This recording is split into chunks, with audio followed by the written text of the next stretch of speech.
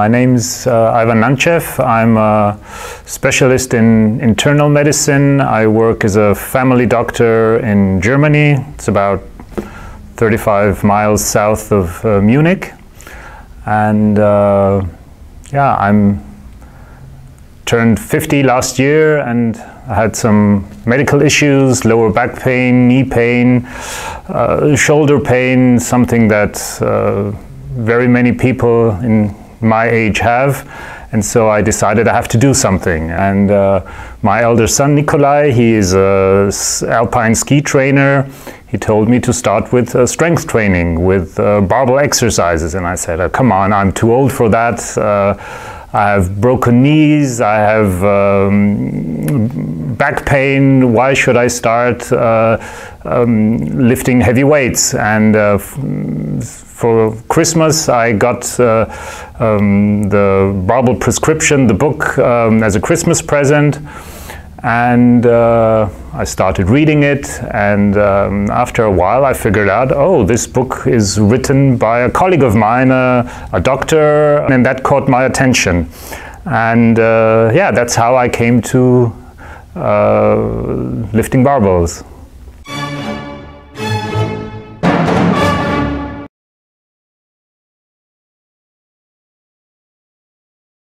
And so uh, one day I started, it was about a year, a year and a half ago. I started with uh, 60, 70 pounds uh, squatting and uh, pressing the, the naked bar. Uh, 20 kilograms as we are used to uh, in, in Europe. We have the metric system and uh, deadlifting uh, 135. Immediately after the first uh, workout, uh, yeah, I felt yeah, I felt a kind of soreness, but it wasn't the soreness that uh, you uh, you feel when you go for a long jog or for or when you ride a bike for two or three hours. I slept very well, and uh, so I decided I will continue. The back pain disappeared. I didn't have any knee pain. For the first time in my life, I was able not only to climb up the mountains, but also to climb them down again without a knee pain. Then I realized that barbell training would be perfect, also not only for me, but also for my patients. And that then it started to get interesting. I figured out if barbell training would be a way for my patients, I would have to figure it out for myself. So I decided I would be patient number one. I would be my first patient and see what happens to me, what happens to my to my physics.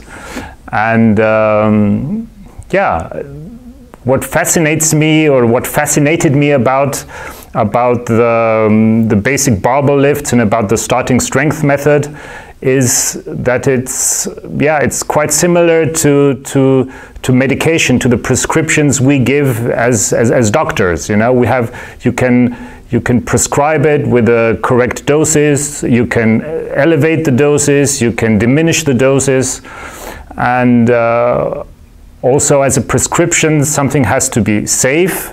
Of course it has to work and it should be easy for the patient uh, to, to accomplish. And uh, uh, all these three factors uh, fit very well with the barbell exercises. Barbell exercises after the starting strength method are safe, they are quite easy to learn. Of course, you need a, a, a coach in the beginning.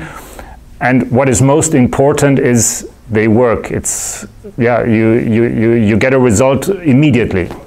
Cardiometabolic disease is also a big issue, of course. Uh, diabetes is, is on the rise. Um, hypertension is on the rise. Uh, cardiovascular disease, uh, stroke. Um, and you have to start somewhere. And uh, of course, you can start with uh, prescribing medicine against hypertension, against uh, the lipids, against diabetes. Um, and you end up prescribing five, six, seven, eight pills uh, or, or, different kinds of medicine. So um, you start and there's no ending so it, you, you have to it's unsatisfying it's physician, yeah and it's unsatisfying and yeah. and that was that was actually the key because I discovered that uh, strength training is, is, is a way out of this misery. Physical exercise, uh, movement uh, is, is, is like, like a, a, a pill is like a, a medicine. Uh, it's like a medicine. Yeah. So I tell my patients who are overweight, okay, you have the decision. We can elevate your your your medicine, or you can start doing physical exercise.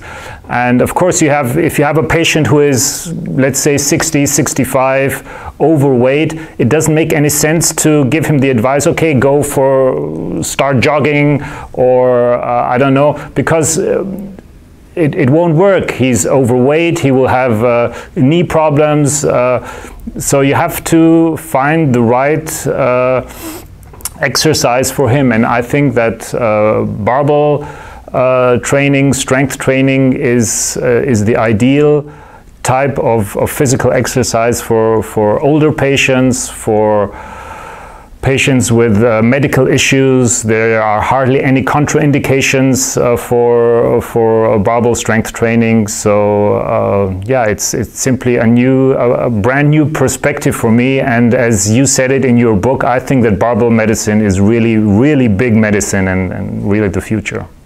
A very common uh, phenomenon that I see in my practice is that people get older and people get weaker you, you call that sarcopenia. Sarcopenia is, is, is, a big issue. It's the loss of muscle mass and of, of physical strength. And uh, for us in Europe, we don't have this problem of obesity so much as in the United States. But what we have is, is something, yeah, the pendulum strikes in the, in, in the other way. It's, it's many people try to, to get fit, to, to do something for themselves. They take care about their, their, their nutrition.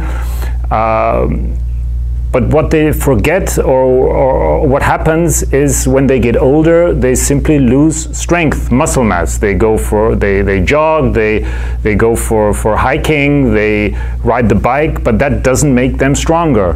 And so what I see, I have patients who are 60, 65, who in wintertime when it's, it's, it's quite cold uh, in, in, in, Bavaria. You have uh, four, five, six months of snow, of ice. So there's a, always a danger that you slip, that you break your hip. And if you're strong enough, first of all, you might not fall down. And if you fall, then uh, there's a great chance that you will not break your hip. So it's very important for when you grow older to stay in shape, to be strong.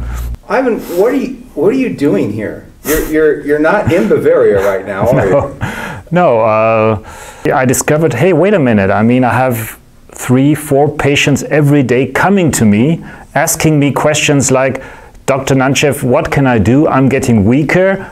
How can I get stronger?" I always gave the same answer. Okay, we'll write you physiotherapy, or you go to the gym just start doing something, uh, go for a walk, uh, whatever.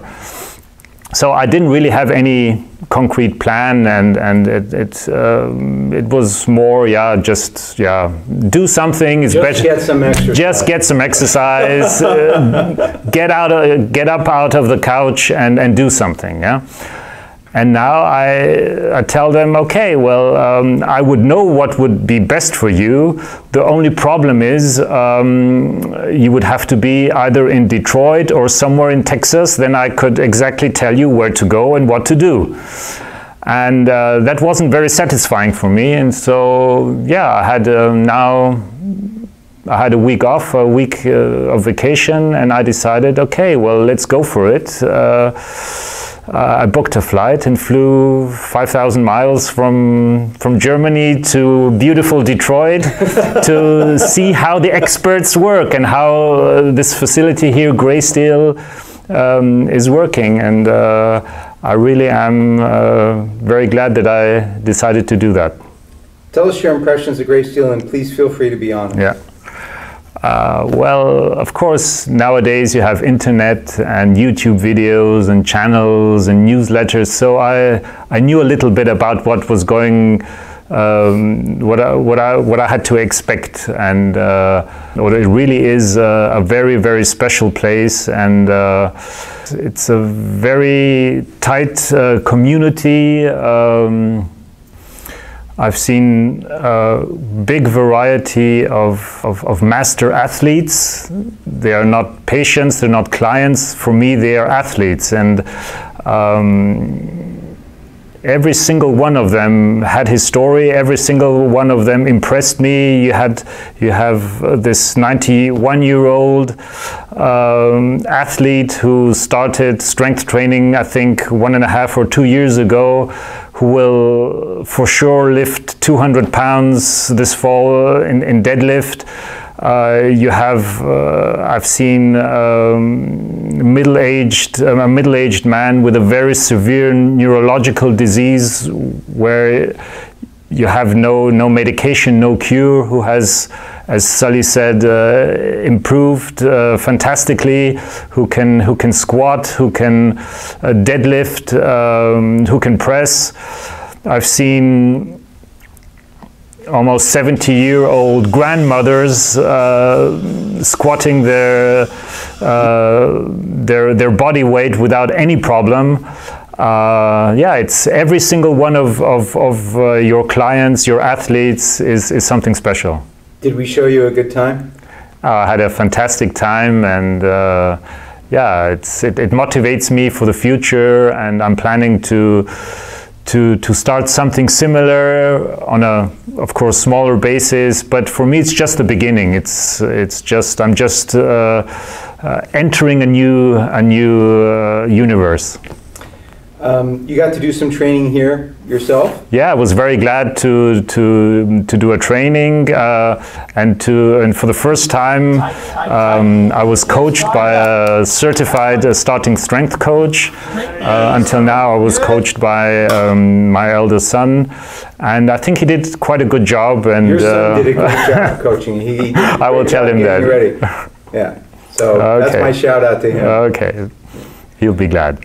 As, as a trip highlight, uh, I will be able to meet, uh, hopefully we'll be able to meet um, Mark Rippetoe at Wichita Falls Athletic Club, and I'm looking really forward to that. Now, it, it, it's true, isn't it? In Europe, they have this tradition of like when men meet, they'll kiss each other on the cheek. no. Right? They, they do that in Texas too. So really? okay. Yeah, I would encourage you to do that. Oh. Make sure you get a big kiss on each cheek. I, I, I have to check that if that's if, if, if, that's true because I only knew that from Brezhnev and Honecker. So. um, yeah, it's it's. Uh, I think it's just the beginning, and it's it's for me it's a role model how things could work out in the future. I think that start uh, strength training, barbell training will be um, a part of rehab, of of uh, physical exercise, of. Uh, I'm dreaming of having physiotherapists not only doing yeah the things they do today, but to get the people, to get the patients um, under the bar, and uh, I think the results uh, are magnificent. For me, it's the first generation. If it's if it's Rippetoe, if it's you, um, I think that you will uh, that the future will show that you will have a, a big influence on the um, yeah on, on, on, on medicine. Yeah strength training, barbell training isn't new, and that's also something which fascinates me. It's not we, don't have to invent the wheel, as we say in Germany. Uh, I don't know if, if you say if you say that here too, but um, I mean, people have squatted, have lifted uh, objects, have picked up heavy objects since since we are human beings. And, uh, and the great achievement of, of, of, starting strength and, and of your book is simply to put that into, into words. Yeah? Um, it's not something new, it's not a new invention. Right. It's simply basic human movement in addition, and you just use the barbell as a possibility to, um, to, to to verify the prescription. Right. Yeah, it's it's it's easy and yeah, it works and it's safe. So, what can we expect more? Thank you very much for talking to us today, Dr. It was a real pleasure. Thank you very.